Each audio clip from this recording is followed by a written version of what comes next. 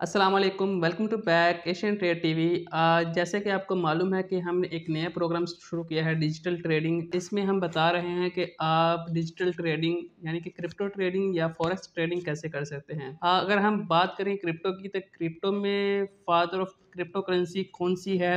वो आपको जैसे कि मालूम है। अगर नहीं मालूम तो मैं बताता चलूँ कि बिटकॉइन जिसका नाम है BTC फादर ऑफ़ करेंसी है, जो तमाम करेंसियों का फादर है। अगर इसकी बात की जाए कि ये कैसे लॉन्च हुई, इसका बैकग्राउंड क्या है, अगर हम बिटकॉइन को समझने के लिए सौ साल पीछे जाएँ तो ट्रेडिंग जैसे की जाती थी, उसको समझते हैं तो उसके बाद हमें पता चलेगा कि बिटकॉइन को लॉन्च करने का असल मकसद क्या था। अगर सौ साल पीछे हम जाएँ तो बिटकॉइन से पहले जैसे ट्रेडिंग की जाती थी वो फेस टू फेस ट्रेडिंग की जाती थी या दो इंसान है हनी और सनी और दोनों ने आपस में ट्रेड करना है। जैसे एक हनी है और एक सनी है और एक दूसरे ने एक, एक दूसरे के साथ ट्रेडिंग करनी है तो एक के पास गंदम है एक के पास दूध का प्याला है और एक दूसरे के साथ ट्रेड कर रहे हैं। मगर इसमें यह है कि गंदम एक हनी ने गंदम ली और सनी ने उसको अपनी तरफ़ से दूध दिया और उन्होंने एक दूसरे के साथ ट्रेड कर ली। मगर अब यहाँ पे इशू ये आ रहा था कि दोनों में मकदार का काफ़ी मसला था। फाइनेंशियल एडवाइज़र जब बैठे तो उन्होंने कहा, यार, ये तो काफ़ी इशू आ रहा है। इसके अंदर ये है कि हम इसको इक्वली मकदार को कैसे मैनेज करेंगे?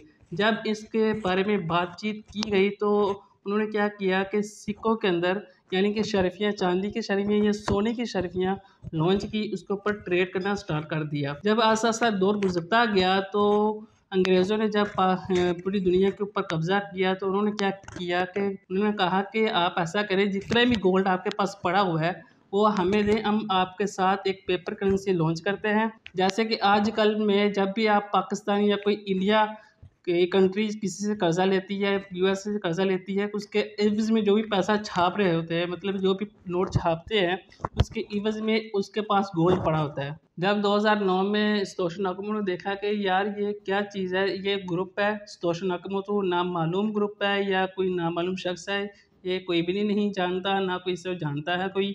इसने देखा कि जब ये करेंसी पेपर करेंसी हम ट्रेड करते हैं जिसके अंदर बैंक इन्वॉल्व होते हैं।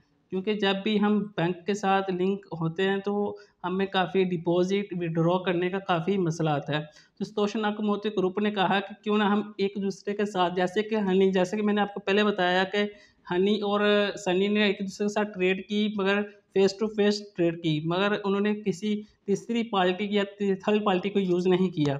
ऐसे ही स्तोशन अकमोतु का ग्रुप जो है, उन्होंने ये सोचा कि क्यों क्यों ना सौ साल पुरानी जब हम जो ट्रेड करते थे, आज ही उसको इम्प्लीमेंट किया जाए कि कोई भी इसके अंदर थर्ड पार्टी यूज़ ना हो।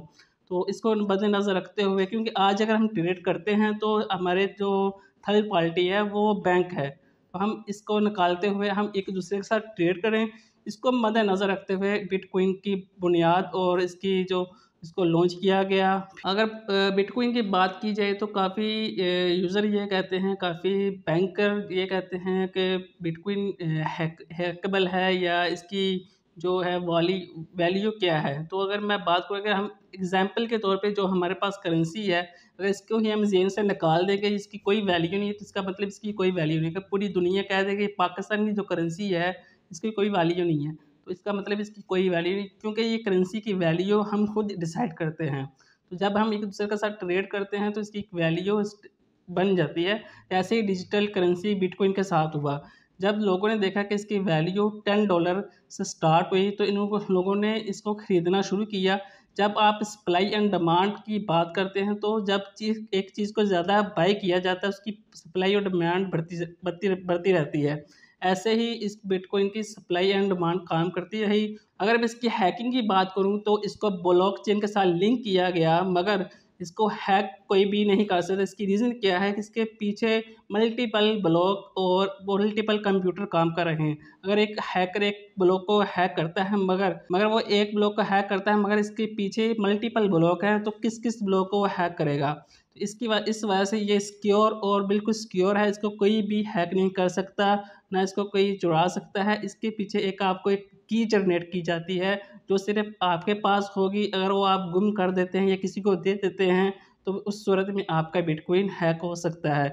मगर बिटकॉइन का आ खुद, अगर कोई बंदा हैक करना चाहे तो वो नहीं कर सकता। ये थी बिटकॉइन के बारे में आपको इन्फॉर्मेशन देनी थी। तो बिटकॉइन 2009 में जब इसका स्टार्ट किया गया प्रीवियसली जब ट्रेडिंग की जाती थी तो कैसे ट्रेडिंग की जाती थी?